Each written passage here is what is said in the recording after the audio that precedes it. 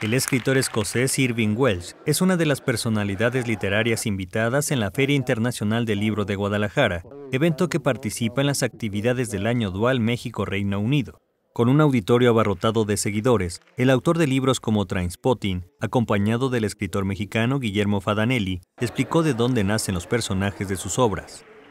One of the things that I do when um, when I create a, a character for a, a book or, or a, a, book itself or a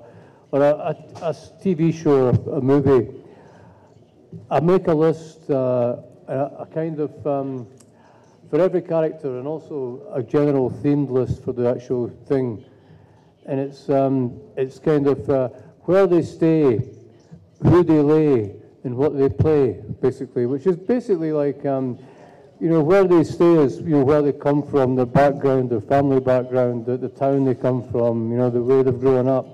Wells tendrá una participación en el Encuentro Internacional de Cuentistas el 4 de diciembre, en el que también estarán presentes Marina Perezagua, Mauricio Montiel y Andrea Jeftanovic.